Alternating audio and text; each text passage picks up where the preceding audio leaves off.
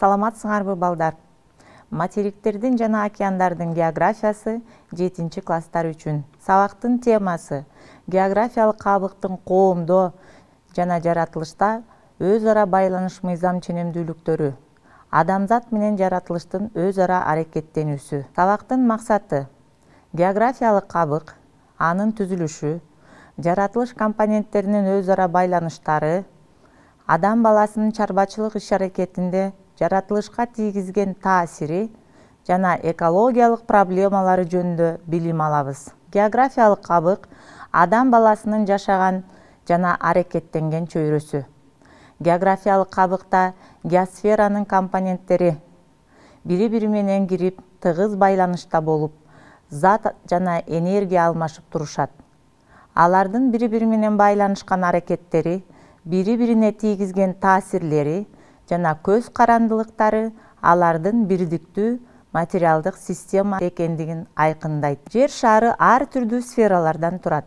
Биосфера гидросфера литосфера атмосфера. Системанын бирдиктүүлүгүн анын бир звеносунун өзгөрүшү калган звенолордун сөзсүз өзгөрүшүнө алып келгендигин көрүүгө болот. Системадагы компоненттерди бирдиктүү системадагы өзгөртүүлөрдүн масштабына карата төмөндөгүдөй тартипте жайгаштырууга болот. Литогендик негиз рельеф климаттык кубулуштар суулар топурактар өсүмдүктөр жаныбарлар дүйнөсү.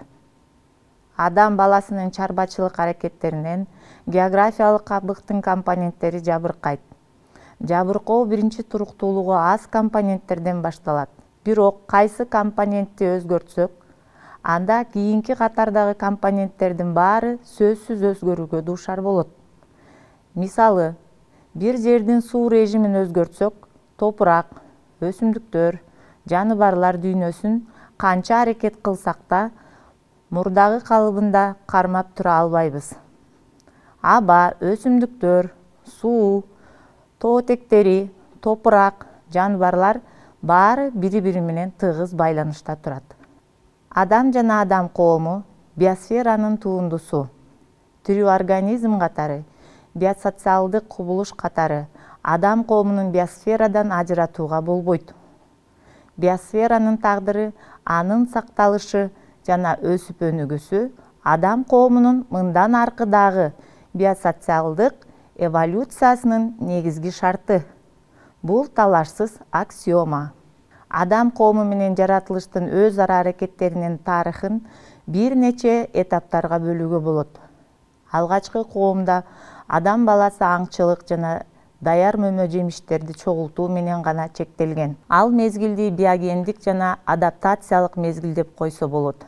Анткени адам баласы жаратылыштан ажырабай анын закон ченемдүүлүктөрүнө көз каранды болуп жашаган бирок ошол мезгилде эле момонтторду зор бугуларды кериктерди тукум курут кылып жаратылышка таасирин тийгизгендиги байкалган.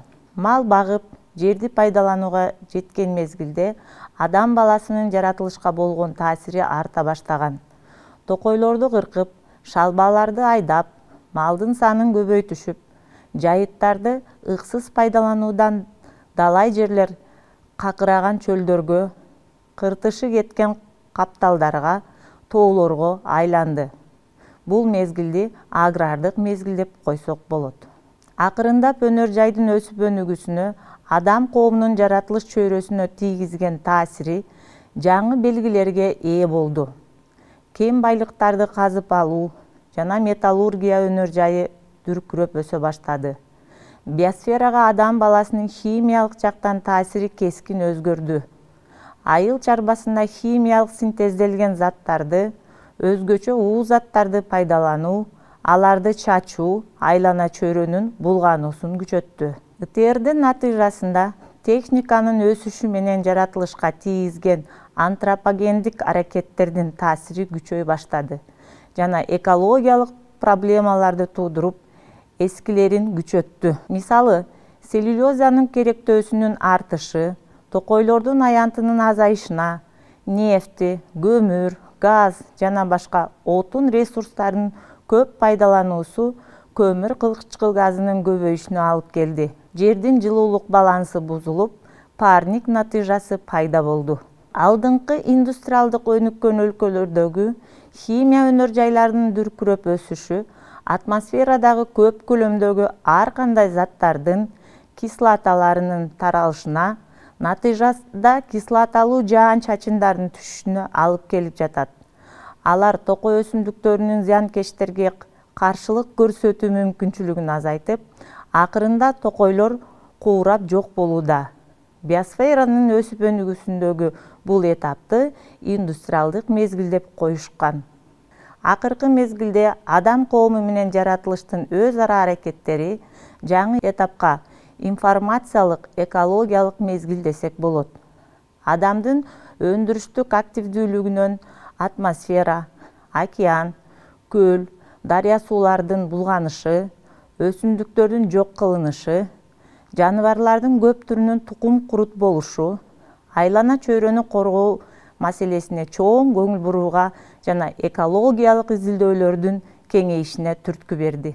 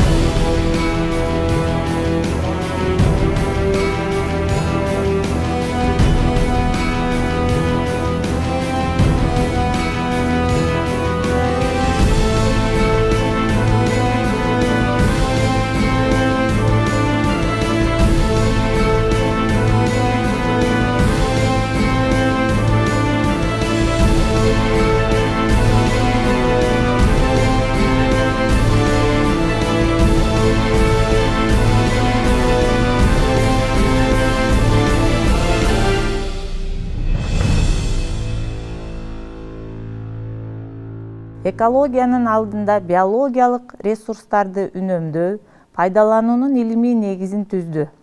Адамдын иш аракетинин таасиринен табияттын өзгөрүшүн изилдөө мындай өзгөрүүлөрдүн масштабын мүмкүндүгүн алдын ала прогноздоо ошондой эле биосферада өтүүчү процесстерди башкаруу ыкмаларын иштеп чыгуу милдети турат.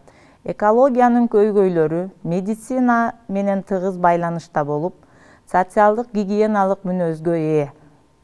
Ошондуктан чарбанын улам тез темп менен тийгизген таасиринен чөйрөнүн ылдам өзгөрүшү адам жана ал жашаган чөйрөнүн ортосундагы экологиялык тең салмактын бузулушуна алып келиши ыктымал.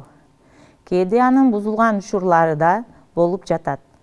Ошондуктан калктын ден соолугун айлана чөйрөнүн абалын жакшыртуу максатында адамзаттын өндүрүштүк иш аракетин жаңы негизде өркүндөтүү максаты ылайыктуу. Заманбап экология татаал жана бутактанган структурага ээ. Токсонго жакын багыттар акыркы жылдарда калыптанып экологизациялык процесстерди жүргүзүп жаткан адамзаттын ишкердүүлүгүнүн тармактары болуп эсептелинет. Айлана чөйрө жөнүндөгү илим теоретикалык прикладдык глобалдык экология. Эми балдар өтүлгөн тема боюнча тесттик тапшырмалар. Бул жерден ар бир суроонун туура жообун белгилейсиңер. Биринчи суроо.